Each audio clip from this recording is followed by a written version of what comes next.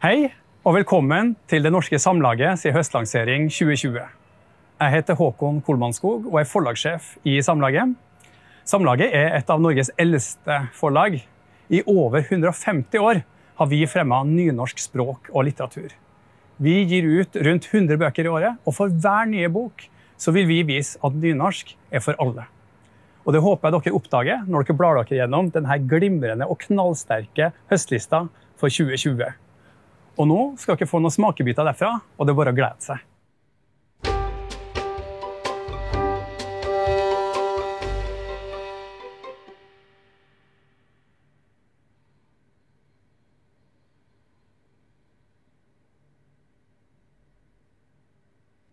Døra åpna seg, og det kom til syne ei høg kvinne som var kledd i lyseblått fra topp til tå.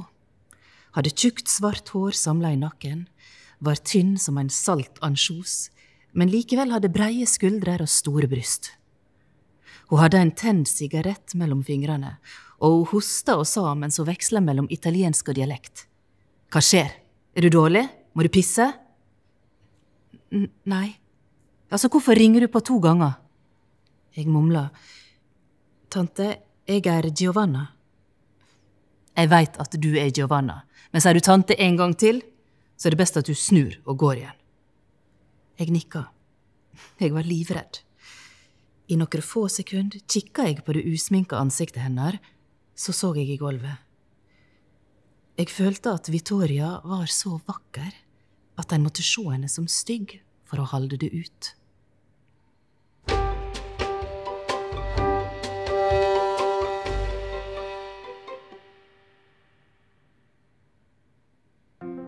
Pappa, jeg vil at noen skal skrive bok om meg. Om deg? Ja, om meg.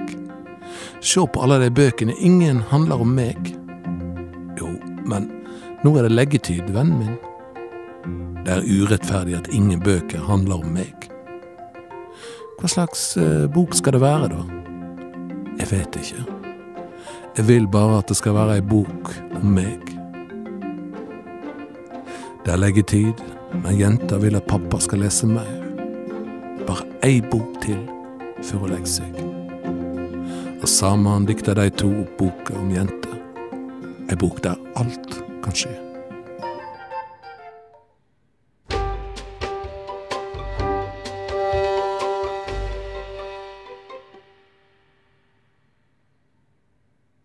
Hvem vil ta ansvaret ingen egentlig klarer? Og hvor masse frihet har vi lov til å kreve, på bekostning av ansvaret overfor våre nærmeste? Veit ikke om det er noe i veien med kroppen og hovedet, eller om jeg bare er i så dårlig form og i så dårlig vane at jeg ikke orker verken å jobbe eller være mor. I en periode veit jeg at slitenheten var udiskutabelt reell. Det gikk ikke an å reise seg. Det var ei slik streting i alle ledd og muskler at det ikke var mulig. Det føltes som om innholdet i hovedet bare segla rundt, litt som da jeg i studietida hadde drukket for mye whisky på et nachspiel og rommet ikke slutta å snurre, verken om jeg lukka øynene eller ikke. Rakel verken drakk eller åt godteri og bestemte hvor mye Benjamin fikk lov til å ete. Egentlig bestemte hun hvor mye jeg fikk lov å ete også, i alle fall så lenge det var hun som handla. Om jeg ikke hadde kjent henne, hadde jeg hata henne. Og kanskje hater jeg henne. Men ikke bare, og ikke for rigiditeten. Det er ikke akkurat som om hun nyter godt av askesen sin, den er kun initiert av nødvendighet. Hadde vi vært normale, hadde jeg sikkert laga feite treretters middager med ulike viner til hver rett, bare for å gjøre henne utilpass når hun pirka i maten og sa nei takk til vinen. Hadde vi vært normale, kunne jeg med overlegg ha invitert venner som ville dømt henne for å avstå fra livets gode, og som hadde vist det fram med både andlet og kroppsholdning rundt matbordet. Det ville, med overlegg, ha blitt utrivelig. Men vi er ikke normale, og hun reagerer ikke lenger på infame påfunn, verken fra meg eller andre. Rakel er en rein streng av plikt, så hardt spent at det ikke går an å spille på henne.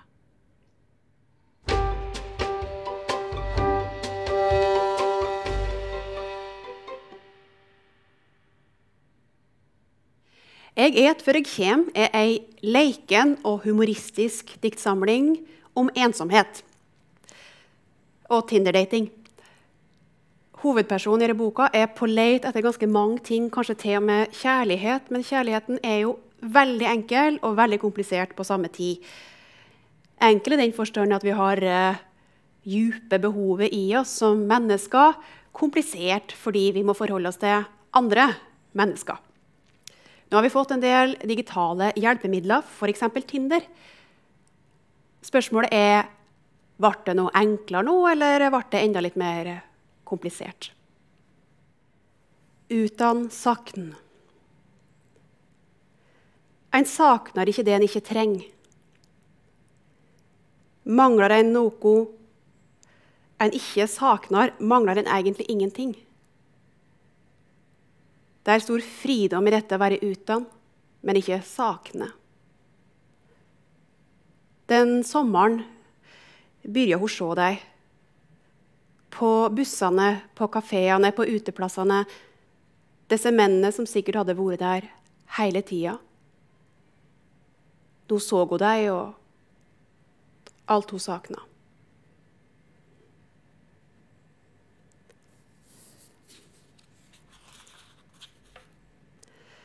et dårlig menneske.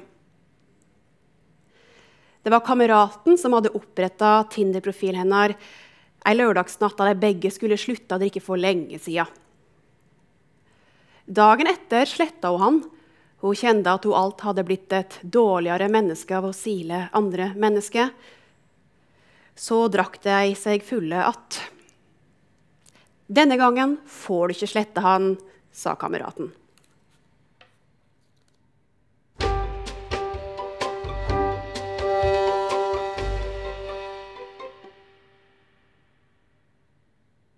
Faren sier at dette er en forunderlig dag. For Asle, eneste sønnen, ja, eneste levende barnet, flytter hjemmefra. Flytter ut og bort og skal bo for seg sjøl. Ja, en merkedag er det. For Asle flytter bort fra barndomsheimen, enda så ung han er. Så nå er det slutt på oppvoksteren. Slutt på barndommen. Men slik er det på bygdene. Skal en gå på skole om en flytter bort, sier faren. Og Asle sier ikke noe. Og han tenker at endelig, endelig kommer han seg hjemmefra. Dette har han sannelig sett fram til. Å kunne bo for seg sjøl, aleine. Og slippe å lye på det stendige gnålet til mora om at han må klippe seg. Om at det ikke går an å se slik ut som han gjør. Om at han må måle skikkelige bilder som før, da han var liten. Og ikke det der rotet som ikke likner katten. Og gnål om at han må være som alle andre på hans alder. For egentlig er han korkje bedre eller verre enn andre. Han ter seg bare som om han er verre, har hun sagt og hun sier atter at han må klippe seg. Det går ikke an å gå rundt med så langt hår, har hun sagt. Og såleis har hun gnåla dag ut og dag inn, tenker Asle. Og så sier faren om igjen at dette er en stor dag. Du flytter heimanfra i dag, sier faren. Og Asle sier ikke noen ting.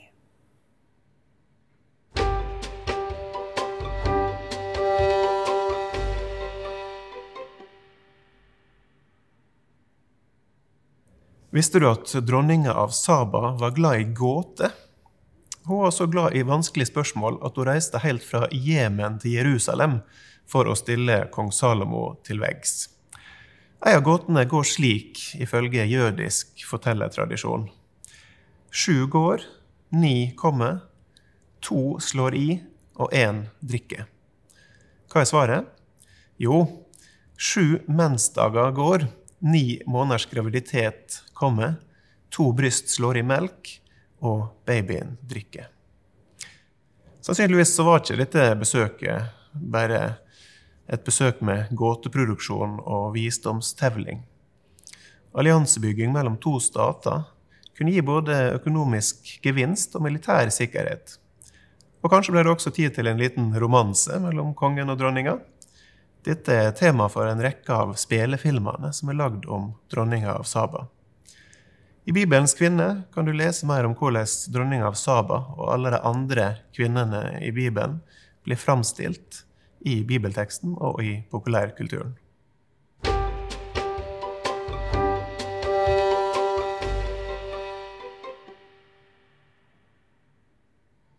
Nå fær huset' er ei bok om lengt.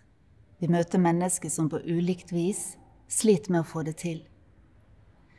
Det er hun som bor alene i en mørk kjellerleilighet, der det daglige høydepunktet er togturen med en altfor informativ nabo, og han som ikke får hverdagen til å fungere etter at kona reiste, og paret med det vakre barnet som ikke utvikler seg normalt.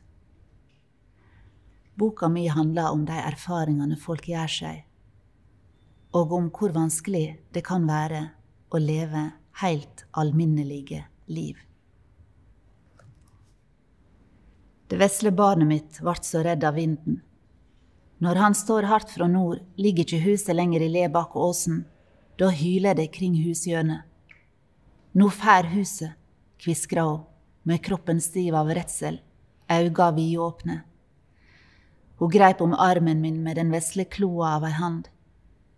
Det er bare vinden, det er ikke farlig, huset fær ikke, sa jeg. Ja, nå fær huset. Jeg heldt henne inntil meg og vogga henne, heilt til hun ble mjuk og slapp. Så strauk jeg bare over håret hennes. Hun var redd for å sovne, for kanskje ville hun våkne en helt annen stad. Huset med henne i, i et annet land, ei anna vær, uten meg. Jeg let henne ligge i senga vår mellom Tor og meg, sjøl da hun var for stor for slikt. Så kan du gripe handa mi når du er redd, sa jeg. Gripe etter meg slik at du kjenner at jeg er her. Eller du griper etter pappa, og så kjenner du at vi begge er her. Samme hvar huset lander, sa jeg, så er jeg her. Jeg var svak for denne tullete angsten hennes, at hun klynga seg til meg. Og jeg gjentok bare nei, huset fær ikke, og om det fær, så er jeg med. Jeg smilte medan jeg tørka tårene. Etterpå la jeg meg inntil den varme kroppen hennes, kilte jentearmene. Håret hennes fall utover puta, kroppen lå litt vridd på skrå. Jeg var redd for at hun skulle bli borte. Men alle småjenter blir borte, slik alt levende blir borte og forsvinner.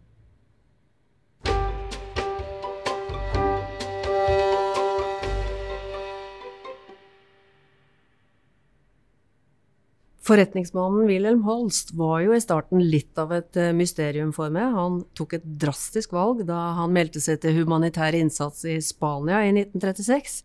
Så ble han da spesialagent for de allierte i Frankrike under krigen. Da var hans to sønner, Einar, som akkurat hadde fylt 16, og Per, som snart skulle bli 15, begge barn, brutalt skutt ned og drept av tyskere på innmarsj i Norge etter dette så ser det ut til at Wilhelm eh, tok alle slags sjanser for å redde andre barn i Sør-Europa. Han ble en veldig uredd spesialagent. Han opererte sammen med en kvinnelig britisk agent. Og denne jakta mi på stoff om ei hemmelig historie førte meg til etterretningsarkiv i London, i Paris. Men jeg fant altså da ei krigsfortelling som var ukjent for meg, og ei agenthistorie som ingen har hørt før.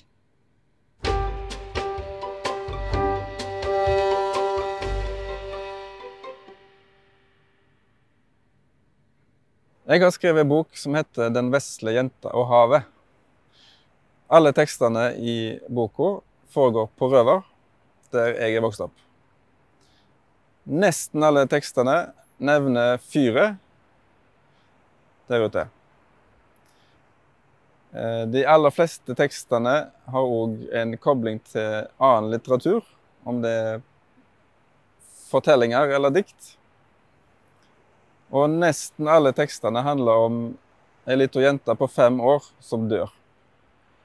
Sånn som søstera mi gjorde i 1985.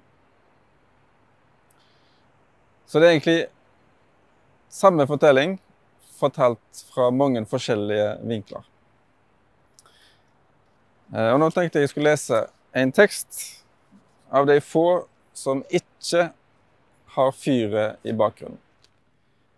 Ingen av de som bodde på øya, så henne da det skjedde. Ingen av de så hvordan hun drog akebrettet ned den bratte bakken ned mot veien heller. Eller drog. Akebrettet må vel ha rent inn i hælene på henne, så hun gikk kanskje ved sida av akebrettet, som gikk om en litt for ivrig kvalp i band. Ingen av de så at hun stoppa en øyeblink før hun var helt nede ved veien som gikk forbi stranda, eller at hun grep styret og la slepesnora oppi og sette seg på akebrettet. Ingen av dem vet hvordan eller hva tid hun merka at noe ble feil likevel, for styret gjorde ikke så stort utslag mot venstre som det skulle. Det var noe som butta imot. Akebrettet gjorde ikke den skarpe svingen da hun vrei på styret slik hun hadde berekna, men tegna en mye slakere båge, slik at hun rende på skrå mot kanten av det lave stupet som enda i den grunne stranda. Og ingen av dem så hvordan hun tippa over, om hun holdt fast i styret hele tida, eller om hun instinktivt slo ut med armene i fallet.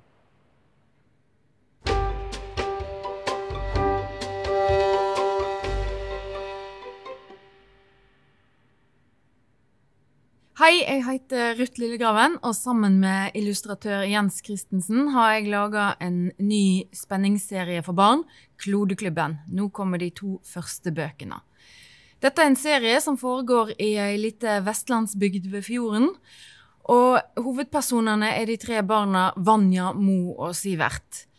I bok én, De svarte svanene, så har det kommet oljesøl i fjorden. Mens i bok to, Hytta som forsvant, så er det eh, dyrene på gården til Vanja som kommer i trøbbel. I denne serien så er det voksne som er skurkene, og ungene som må rydde opp. Og sånn kan det jo òg komme til å bli i den virkelige verden framover. Jeg er veldig glad for å kunne bidra med forhåpentligvis spennende og underholdende bøker for barna, som de òg kan lære noe av på nynorsk.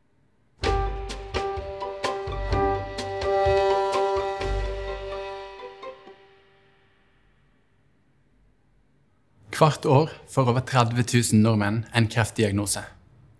Heldigvis skjer det store gjennombrudd i kreftforskninga som gjør at stadig flere blir friske. I boka 'Ny kunnskap om kreft' forteller jeg om de viktigste oppdagingene i den medisinske forskninga. Og du får lese om kunstig intelligens, immunterapi og genetisk testing. Her får du vite hvordan ny kreftforskning blir til bedre behandling for stadig flere og du møter forskere, leger og pasienter som står skulder ved skulder for å utvikle framtidas kreftbehandling.